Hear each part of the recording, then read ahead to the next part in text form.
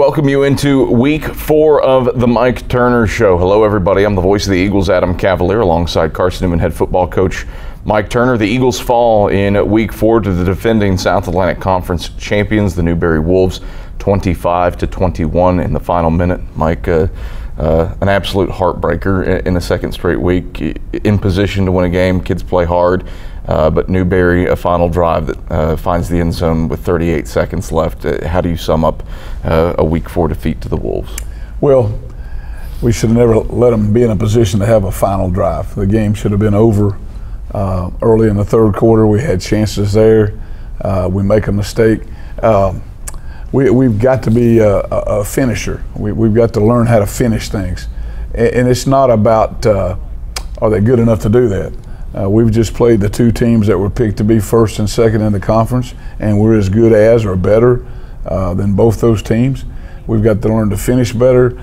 Uh, we've got to learn to execute, regardless of what year you are. We got to learn to execute, to finish drives, uh, to finish defensive series, those type of things. And and again, the kicking game uh, came back this week and, and, and hurt us there in one instance, but uh, even that situation happened, it shouldn't have been put in that, that deal right there being that close. It feels like for a second straight week, if you take three or four plays away, uh, right. this one you chalk it up in the win column. Uh, uh, a fumble by Dorian Miller fighting for extra yards, two yards away from the end zone from scoring a touchdown. Uh, and then a sudden change on a kickoff. Chris Williams, his first career kickoff return, fumbles it. Newberry recovers it at the one. How challenging is it to overcome those two instances back to back. Well, you also got to look at what those two kids did to contribute to that situation we were in yesterday. They, they both had made plays and they both had played hard and played with excitement. Um, you, you've got to put yourself in situations where that turn of events doesn't make a difference. Mm-hmm. Uh, you know, and uh, we're, we're going to grow from that. We're going to learn from that, and uh, we're going to learn to believe from that. That uh, if, if those two teams are, are going to be the top two teams and we're in that position, then let's learn to finish better. Let's learn to uh, believe better. Let's learn to keep the faith better and uh, and go out and put some games away. You, you bring that stuff up and you, you talk about growth. How much of this is attributable to the youth of this team? Oh, I would, I would never attribute any of that. That's uh, we're, we're not we're not we're not going to make a mistake about being young. We're not going to make a, uh, an excuse about being young, an excuse about being injured. We're, we're going to play football like Carson Newman football uh, is supposed to be played, and we're going to man up and cowboy up when we need to, and and, and we're going to get it done. We have uh, seven games to go. Uh, we've got uh, majority of them at home, and so let's let's tee it up and let's go. How important is it to maintain that attitude then? Well, I, I think it's important that you maintain that attitude for uh, uh, this is supposed to be uh, uh a learning laboratory. That's what football's supposed to be for young men. I mean, uh, it's not about the NFL. It's about learning how to grow up, learning how to be a better man. Then this is this is where you learn. Uh, thank goodness in a Sunday school lesson this morning, I saw something read about uh, knowing having the faith and believing doesn't mean you won't face adversity, but it means you will understand how to overcome adversity. Uh, you, if you have that faith, if you have that belief, you'll get that done. And we're just, you know, when you say execution, it's a growing up process. Uh, you see that. Let's make sure we improve on that. Let's find ways to do it better. Uh, thank goodness we, we took control, uh, took better care of the football. Mm-hmm. So uh, we're on our way. I, I, believe these kids are going to get it turned around. The light bulb's going to come on, you know, and, and uh, ring the bell. Carson falls at home to the Newberry Wolves 25 to 21 and we'll break down the first half after these messages on the Mike Turner Show. Back on the Mike Turner Show as Carson falls at home to the Newberry Wolves 25 to 21. Mike, a first half where you fall behind uh, seven nothing, but the second quarter unquestionably belongs to Carson Newman.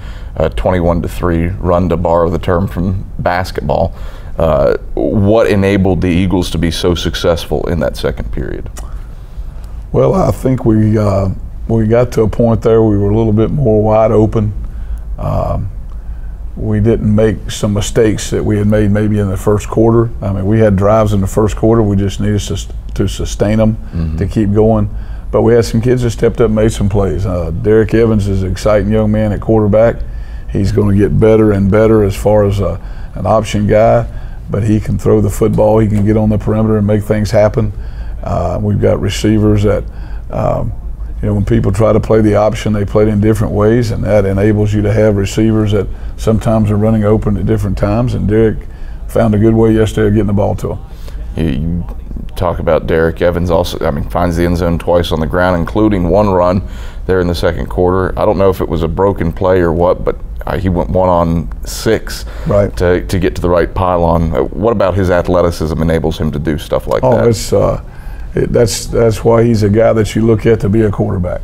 Uh, he, he's learning more as a quarterback to not uh, be so freewheeling to make sure he's taking care of his assignment first and then make a play happen. Uh, but yesterday, he, he the protection broke down there at one point, and instead of sitting there patting the ball, which I'm so proud of him, uh, you know, he goes up the field, makes something happen. He's got a sense about him. He's got a keen sense about him about protection. He know, he does know well where the ball's going, who's it supposed to go into. If it's not there, he'll go out and make a play. Get your fir- first really full game dose of the combination of Jared Dillingham and Deontay Thomas in the backfield. Uh, both of them touch the ball 17 times. Both of them get over 70 yards rushing. Right. Uh, how do you grade out what they what they did on the ground? Well, I saw the grades this morning. Uh, broke down the video graded about 6 a.m. this morning, so that was a good start. Uh, but both of them graded about the same, graded in the low 80s there. Uh, well, they, they, they, they, they got in there and made some tough yardage and made some things happen. Uh, we've just got to keep anticipating it and trying to hit it one step faster if we can out of the backfield. That one step faster will maybe allow us to, to break an arm tackle, okay, or break a hand tackle on, on our ankle. Well, speaking of one step faster, Dimitri Salisbury, career long 39 yard wow. uh, touchdown run to put you up uh, 14 to 10 uh, at the time. Uh, what a sweet moment for the junior out of Georgia. Oh yeah, what a, what a great kid and what a great team player and and he's a guy that everybody roots for him to do something well and to see him break it there, give that kind of effort. And then once he saw that goal line, uh, it, it's a good thing all the officials got out of the way and everybody else because he, he was going to get it in there. Well, Carson Newman led Newberry at the halftime break 21 to 10, and we take a gander at those first half highlights. Break open this scoreless tie with 10 12 left in the first quarter. Snap back to Jones. Blitz comes up the middle, throws over the middle of the field, has a man in the end zone, and he hangs on. Touchdown, Newberry. Markel Castle, the preseason first team all conference wide receiver. It's the slant over the middle of the field. It's a 12 yard score, and Newberry has the lead. 6 0, 10.02 left first quarter. Jones in the gun, man to his right. Jones drops back to pass, settles in the middle of the end zone, throws, and it is picked off, intercepted by Mario Mezier. Reaches up and grabs it over the top of the big tight end from Middle Tennessee State, Sean Smith. And Mezier hauls in his first pick of his Carson Newman career. Mason and McCara. Miller, the lone wide receiver, split to the wide side right. Evans under center. Newberry pinches in their defensive line. Evans takes quarterback keeper, leaps over the pile, pile, and he's in for six. Touchdown, Carson Newman. QB sneak, the charm on the second time, and the Eagles within a PAT of tying this one up. Evans under center, takes the snap. Trap to the left side, Salisbury. Good run. Breaks free across the 30. Moving left sideline. Tight roping inside the five. Dives for the pylon. And he steps out. No! They give it to him! Touchdown! Carson Newman! How about a little steak sauce with your touchdown? Dimitri Salisbury puts Carson Newman on top, 13 to 10, with 5:40 left in the second quarter. 39 yards, a career long run for the junior out of St. Mary's, Georgia. Evans under center, split backs. Miller in motion, the wide side right. Evans takes, rolls the pocket right, settles, throws, deep ball along the right sideline. Jump ball going up and getting it. Darvier DeBose complete inside the Wolves 30 and yanked down at the 25 yard line by Truesdale. The old heave ho, and it gives the Eagles the first down. Evans under center takes, Runs to the right, bounces it out, freelancing. Evans a stiff arm. He leaps for the pylon, and Evans is in. Touchdown, Carson Newman. Derek Evans, a broken play, does that one all by himself. And he puts the Eagles up by 10, 20 to 10, with 21.3 ticks left in the second quarter. Trips go to the wide side right. Ball spotted left hash at the Wolves zone 45. New quarterback into the game for the Wolves. Rolls the pocket right and throws the deep ball along the right sideline. Jump ball and an interception. Darius Williams weaving his way to the right at the 30. He's stood up and stacked up and finally knocked down by the quarterback, Sumner Cooler, making a play downfield at the 31 yard line. So a pick to end the first half. Those are the first half highlights. Eagles up on the Newberry Wolves 21 to 10 uh, at the halftime break. Mike, a, a defense that shut down Newberry as well in that second quarter. What stuck out to you about the, the effort uh, of your defenders? Uh, I'm just, uh, you know, we had a couple kids that got injured last week, had some guys that stepped up uh, uh, to take their place. I, I, think the front part of it, uh, one thing we did well was we pushed the front pretty good, and we had linebackers flowing and plugging, and we forced them into doing some things that I don't think they really wanted to do that quick. I, I knew they uh, we're probably going to try to throw the football a little bit more than they had been. But I was really proud of our defense flying around and being persistent. You know, uh, we gave up a first down or two there when we shouldn't have on third and long, but they still rallied. They didn't get down. And I'm just so pleased with how hard they're playing, uh, how determined they're playing, and how they're playing together. It felt like a, I don't want to say a breakout game because they're known commodities. But Jordan Price, Ross Pryor, game for your defensive ends, really, both of them with eight right. eight tackles. Right. Well, they were they were in, in the right position. Uh, they had the right kind of movement, and you know, one guy stands out. It's because there's two or three other guys mm-hmm. on defense that are doing something to make it happen, and uh, that's why this is a great team game. But I'm really, really proud of our defensive kids and their effort. It's just uh, it's fun to watch them be excited about playing defense. Is there anything that you can say about a Brian Bembry, a Javon Barnes, a Jamarco Withrow, uh, a, Montel Presley? Because th- these are your interior linemen right. who really don't show up on the stat sheet right. week to week. But I, I, would think it's fair to say that uh, they're doing some stuff defensively that's sure. making stuff happen. Well, they're, they're doing some things when a linebacker shows up with tackles. It's because somebody up front's keeping one or two occupied. Uh, same thing with the defensive end. And I, we're, we're, so uh, excited about. And finally, we have some depth here. Not a whole lot, you know, but we feel like we're one and two deep. That uh, you know they can get those kids breaks to get them some breathers in there and keep fresh legs. Uh, and it keeps that with the kind of offenses you're playing where people are trying to zone you and overtake you and scoop you the backside. So, uh, but those kids are really playing a great, great part in their role. Carson Newman falls to the defending SAC champs, the Newberry Wolves, in week four, and we'll take you through the second half after these messages on The Mike Turner Show. Back on The Mike Turner Show as the Eagles fall to the Newberry Wolves 25 to 21. I'm Adam Cavalier alongside the Eagles head man Mike Turner.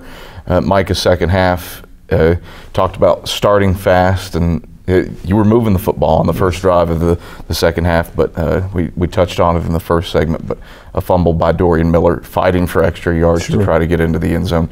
How frustrating are moments like that, and how do you teach from moments like that? Well, you, you teach from moments like that about there you are, there's how it happens, there's how it can happen. Now it takes just a little bit more. You know, we talked early uh, back in the winter about the difference between being good and great's about that far all right, well, some, there's times in there in that second half on offense we're about that far, you know, from really getting it done well. Uh, and, and, you know, when you score 21 points in the first half and, and we come out in the second half and we don't score, that's that's on me, man. That's my fault. We got we got to do a better job on offense of uh, uh, producing points. Uh, we've got to keep drives alive. I know I keep saying that, but drives alive mean the clock's running. That means the defense is resting. That means that means you're wearing down a defense where it may be able to give up a big play. Uh, so it's all it's all a part of put together. It felt like there were a few uh, untimely penalties that hampered drives in a big way too. Uh, I can recall a chop block, uh, a few pre-snap penalties. Again, we've touched on it, but reared their heads at uh, yep. the worst possible. Well, you you know we uh, we had some things that happened yesterday uh, to our kids, and, and they've got to, you know, you got to grow up. You got to handle that. If somebody on defense jumps shift, that doesn't sound like what we talk about. You got to handle that. Okay, that's that's part of football. No excuse. You you got to handle that part of it, uh, even though it is untimely. All right. Yeah. it's very untimely. but hey, you got to be able to handle those things. Uh, when a kid makes an aggressive penalty, that that's part of football. Uh, but the penalties that, that, that aren't smart penalties are, are those things that get called. And, you know, we, we, we had one or two or three or four of those in there. And, and it seemed like we were going to make it through pretty much unscathed. And then they started, and that's concentration. And maybe we need to keep some uh, fresher people in the game to, to overcome that. Uh, so mentally that we're sharper, but we're going to go evaluate it. We're going to start handling it. Um, uh, making some people be responsible for that and having some accountability. You, you look at the the, set, the fourth quarter, you, Newberry goes scores the go-ahead touchdown with 38 seconds left, but still have a shot to win the game. And uh, a long ball to Quinton Phillips along the right sideline, getting game of inches. Oh, just yeah. that close, and that close. he's hauling in a 65-yard touchdown pass, and you've got a miracle on Moss. Oh, actually, we had we had a great set it up with the four wide receivers and through the through the curl and got the first down you know, got up on the ball, got that set up, and had uh, had what we wanted, and even had what we wanted again the next time, and, and we missed the protection a little bit. But you know, there's two weeks in a row, and, and uh, it's, it's the same thing. Like I said, we take responsibility. We got to handle that about scoring points in the second half, so that that's not in that predicament that close. Mm-hmm. But gosh, those kids are fighting till the horn went off. Yeah, you, you you've got no complaint about their heart uh, you got no complaint about uh, the getting after it part of football, uh, and I really don't have any. I don't have any complaint about them believing and getting after it. So there was a great disappointment there yesterday, a great heartbreak. It was, uh, and you know you've got to learn how to handle that too. Do you feel like it's only a matter of time before everything clicks and it comes for you? I think so. I sure hope so. Okay, I sure hope so. Uh, mercy. I surely, I certainly hope so. Um, and like I said, hey, it's about them. This whole this whole thing is about them. It's a whole thing about them learning how to play free, how to play opened up and wide open and play, and and, and learn how to play and not have any regrets. You know, and and uh, as long as we can do that, hey, I, I'm I've been there and done that. We can handle that part. All right. But I, I, want those kids to make sure they get the full experience out of that. I think we've got them turned loose. I think they're playing hard. They're playing together. We've got to learn how to handle some uh, uh, some things that don't go well for us. How you got to uh, that happens. Now, what am I going to do? I got to get out of the mud. I got to get back on the fast track. Carson Newman falls to the Newberry Wolves 25 to 21, and we take a gander at the second half highlights. What Evans does, he takes the snap, rolls the pocket right, settles, throws, along the boundary right side. A great over the shoulder grab made by Dorian Miller. Brings it in at the 40 and brought down down at the 35 along the boundary right side. White knocked him down. The ball came out after Miller hit the turf, but the officials say catch initially. Newberry pleading, pleading for an incompletion. Carson Newman from the Wolves' 27 yard line. 10:29 left in the third quarter. Eagles up 21 to 10. Evans takes, throws the slant, complete to Miller at the 25. Miller angling his way between the hashes. 10 5. Miller doesn't get into the end zone. He is tackled at the one and then fumbles it. Newberry recovers it in the end zone. Joe Blue saves the touchdown, and the Wolves take over, recovering a fumble in the end zone. Snap back to Jones. Hands off Clark right side. Clark hitting the backfield, and Brian Bembry, a great form tackle. No gain, trying the right side of the line. Second down, another yard to go for the Wolves. Bembry surging into the backfield and a great stop. Sends Chris Williams three yards deep, middle of the end zone. He'll take it out straight away. Williams to the 15, tries to bounce it out to the right sideline. Lost the football. Newberry trying to pick it up along the left boundary. Waters grabs it, Check that McCord grabs it, and he's brought down at the one yard line. No, check that. That is a new quarterback in Sumner Cooler. He wants a deep ball down the left sideline. Jump ball. Des Farrell goes up for it, and he picks it off at the 35 yard line. He was angling for Irby with Sumner Cooler, but Cooler throws his second interception of the day. Des Farrell sliding in with an INT. Jones in the gun, five wide, trips to the wide side right, two to the short side left. Snap back waist tight for Jones. Throws middle of the field, complete to Markel Castle along the right hash marks. Castle bowls over a defender and sprints to the end zone. Touchdown, Newberry. Castle absorbed a hit at the 20, turned around, and raced right across the goal line. 30 yards for the score. Newberry 25, Carson Newman 21. Evans in the gun. Dillingham to his right. Evans takes, rolls the pocket right, settles, throws, long ball. Has Quinton Phillips over the top, just outside his hands, incomplete. I wonder if Phillips lost it at the last second. He was wide open, had it down at the five. Laquan White was in coverage, but Phillips had him beat. Those are the second half highlights as the Eagles fall to the Newberry Wolves 25 to 21. When the Mike Turner Show returns, it's time for the Eagles Spotlight. And Michael Watring, he'll put it on Brian Bembry. That's after these messages. Back on the Mike Turner Show here in week four of the Carson Newman football season. Time now for our Eagle Spotlight. And this week, Michael Watring puts it on defensive lineman Brian Bembry. Before recruiting heated up for Brian Bembry, he had a conversation with God seeking guidance. Carson Newman produced a scholarship offer shortly after, and several Power 5 schools followed suit. Bembry reflected and decided that Jefferson City was his best destination. I had no offers before Carson Newman, and I prayed. I got on my knees and I begged God to, to if He wanted me to go to play football somewhere, He'd bring me an offer from Division One, Division Two. I don't care where it was. He'd bring me an offer. And the very next morning, I had a call from my coach saying Carson Newman was here to offer you. And that was one reason. That was uh, kind of confirmed that Carson Newman was the place where I needed to be. And when I met the coaching staff and uh, on my visit, um, they they stood out from all the other coaches that came down to talk to me. So uh, when when I so when I came on my unofficial visit here and met all the coaches, it really confirmed to me that uh, this was the place I needed to be. Bembry's desire to grow as a person has been met with encouragement from everyone in the program. His position coach is veteran mentor Dan Redding, who has taught several future NFL stars in his day and understands how important life off the field is. And you're selling the Christian character, and I think that's what attracted Brian to us. He wants more, something more than just football. He wants to be, the, he wants to develop himself spiritually. It's very important to him through those aspects of everything. His development as a person has aided his efforts between the lines. Bembry missed the 2016 season with an injury, but defensive coordinator Larry Slade saw how hard the defensive tackle worked to get back to full strength. He is a phenomenal person first, and character has so much to do with it. When you look at him, his quality, the big thing is he plays extremely hard. He plays with great effort. Tools are not an area of concern for Bembry. His coaches say that he is big, strong, athletic, and fast. Wrap those characteristics into one, and Redding sees the formula for success. Numbers wise, it could be unlimited. Uh, it depends on how he develops and how he works. He's a great young man, works extremely hard. It's very important to him that he do well. Um, so it's, it's going to depend on how things progress the next few years. But uh, he's got a lot of upside. The defensive unit features nine sophomores that see significant snaps.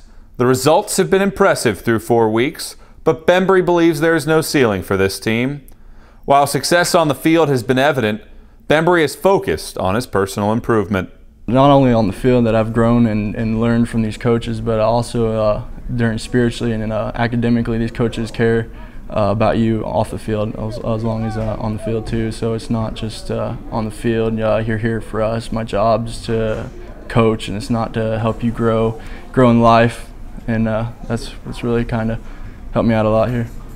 Slade stated that Bembry's work ethic and personal standards will translate to achievement in football and in life. After all, the guidance that Carson Newman's coaching staff provides goes further than X's and O's. For the Mike Turner Show, I'm Michael Watring. All right, thank you very much, Michael Watring, Mike Turner, Brian Bembry, a kid who unquestionably wants to be at Carson Newman and feels like it's the right place for him. Oh, there's no question. He is at the right place at the right time. Uh, he's the kind of kid you want at Carson Newman. Uh, he's a he's a kid that's a, a friend of many. I think he's a, he's a very much an asset to this program and to this university. Turn your attention now to the Catawba College Catawba Indians, the only team that's nationally ranked uh, in the AFCA coaches poll from the South Atlantic Conference. Curtis Walker's group uh, has played pretty stout defense, shut out Mars Hill uh, and David Salmon in the second half of their game this past week. Uh, doing it with defense, but Patrick O'Brien uh, transfer from UNC Pembroke at quarterback has added a little offensive punch for the Indians. what do you see out of that unit? Well, there, there's no question. They're, they're playing at a high level. Uh, they've always played at a high level on their defense. And uh, you know, I know Curtis is in charge of that part of it. And on offense now with the uh, transfer of, of the kid from UNC Pembroke, uh, that's really allowed them to turn loose even more. The running back, uh, you know, it opens up the running game when you have a guy that's very, very proficient in the passing game. I have some big play weapons, Sam Mobley and Keon West at wide receiver.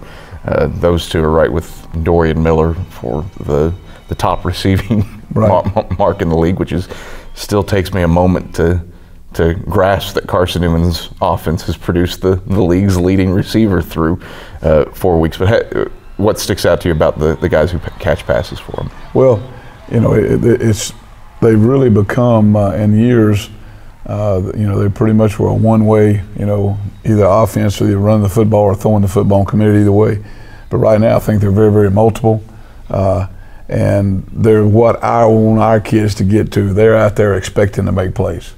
That's the difference in them. I think right mm-hmm. now, offensively, they're expecting to make plays. They're not, they're not hoping. They're not wishing. They're expecting that to happen. Mike, pleasure as always. Thanks, uh, thanks for the time. All right, Adam. Thank you, buddy. Appreciate it. That's Carson Newman head football coach Mike Turner. I'm the voice of the Eagles, Adam Cavalier, and this has been The Mike Turner Show. Thanks for watching.